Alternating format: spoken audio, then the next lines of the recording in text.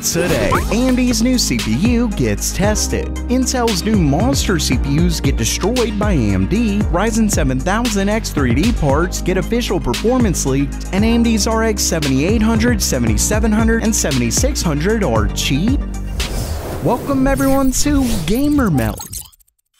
First up for today, performance numbers leak on AMD's next-gen flagship mobile CPU, the Ryzen 9 7945HX, AMD's monster 16-core 32-thread mobile part. As you can see, we have a benchmark from Geekbench on the new Raphael CPU, and it scored 2127 in single-core and 19403 in multi-core. And when we compare that to Intel's new 13980HX, it wins in single-core yet loses in multi-core but really, they're both very close. With that said, some other benchmarks were apparently found that put the Ryzen 9 part a bit lower than Intel's in both single and multi-core, but once again, not by too much. Really, while both CPUs are 55 watt plus, I think it'll ultimately boil down to how much performance they get at what wattage. If AMD's can win, then they'll likely be the better buy. Then of course, there's price. Basically, AMD's new part does look promising. Time, as always, will tell. And when you're ready to learn how to actually make CPUs and GPUs, there's no better place to start than with this video's sponsor, Brilliant. And there's no better time because they're now offering their best deal ever. Instead of their usual 7-day trial, you can try out Brilliant for a full 30 days for free when you visit brilliant.org/gamermeld. If you haven't heard about Brilliant yet, it's the learning platform that was made to teach the STEM field, and that means computer science. But the best part is really how they teach you.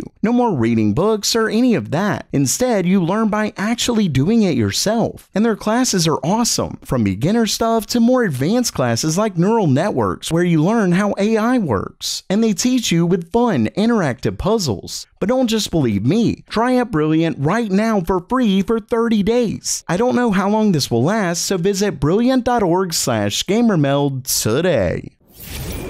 Next up for today, we finally have the first series of benchmarks on Intel's new high-end desktop processors, including their nearly $6,000 56-core CPU. The story comes from new benchmarks done by Puget Systems where they compare Intel's new CPUs to AMD's newest Ryzen Threadripper Pro 5000 models. So let's get right to it. As I go through these, you'll notice that AMD's Threadripper Pro models win in literally every benchmark other than the single-core Cinebench. And I mean every benchmark, V-Ray, Blender, you name it. But get this, it gets even worse for Intel. When we look at the power draw, we can see that AMD's 64-core part not only takes less power than Intel's highest-end 56-core part, but it literally pulls less power than Intel's 28-core part. I mean, this is just sad. Remember that Threadripper 5000 are AMD's newest parts, but they're only based on Zen 3, not their newest Zen 4 architecture, while Intel's Sapphire Rapids is definitely newer. With that said, Intel's parts are cheaper, but not by much. At the end of the day, this doesn't bode well for Intel at all. Puget Systems does call this a preview because it's a very early look at the new processors, and according to them, they were getting BIOS updates all the way up to the release, so it may get better. Plus, overclocking looks good as Intel's new 56-core part just set a world record, though that was of course with liquid nitrogen, and it probably pulled more wattage than a small city. Basically, I doubt it can get a huge boost in performance with way less power draw and time, especially since these CPUs are just weeks weeks away.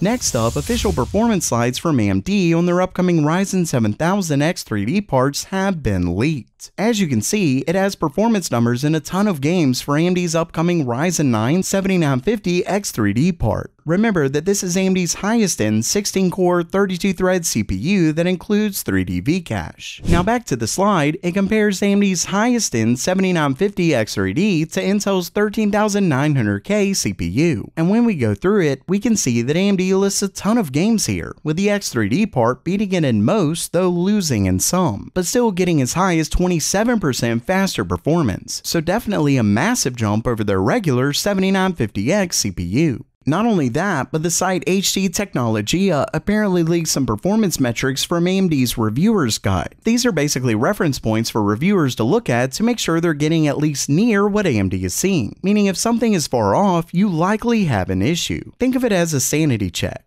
Either way, we can see that they compared to Intel's 13900K yet again. But here, we're actually given an overall performance difference, and as you can see, the 7950X3D gets a 6% increase over the 13900K. And of course, that is a bit disappointing given the 13900K can overclock a bit and get more. Plus, a 13900KS is closer to the price of AMD's 7950X3D. Then again, if the 7800X3D can do anything near this, it could end up being the best gaming CPU out there. Ultimately though, it likely depends on what games you play as to which CPU you're most interested in.